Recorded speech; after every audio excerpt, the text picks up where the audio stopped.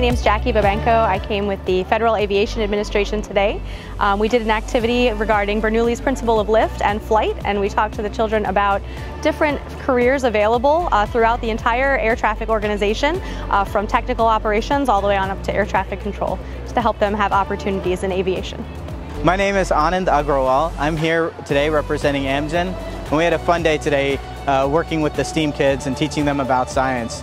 Our experiments today were about dry ice and about how dry ice sublimates at, at room temperature uh, and pressure and then how we can use dry ice to freeze uh, things very rapidly. Uh, our, our, second experiment, we actually made ice cream and, and really had a treat for the kids.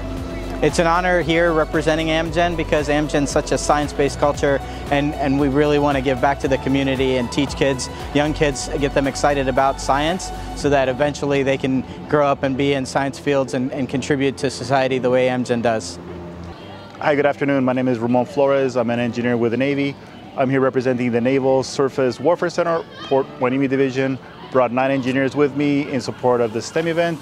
Um, our particular group did a foil boat experiment where we taught the kids about buoyancy and how to design uh, boats that would maximize capacity.